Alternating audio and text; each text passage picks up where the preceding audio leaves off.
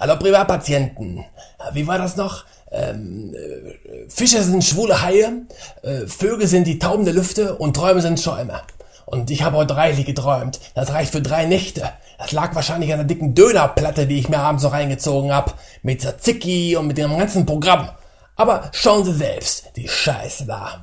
Was für ein verrückter Traum. Gerade wollte ich den nächsten Patienten reinrufen lassen, da lief mir schon wieder die Nase.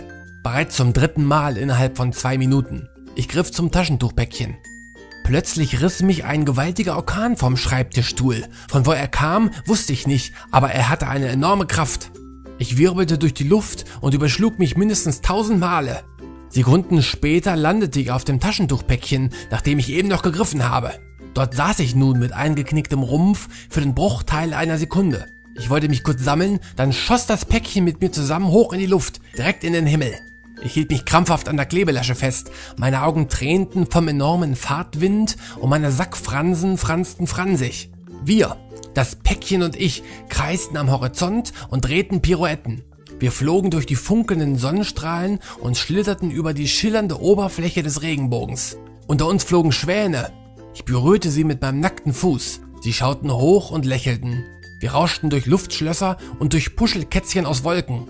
Ja, aus dem Taschentuchpäckchen und mir ist ein Wir geworden. Wir reisten nun gemeinsam. Wir waren Reisende und das Ziel war die Reise.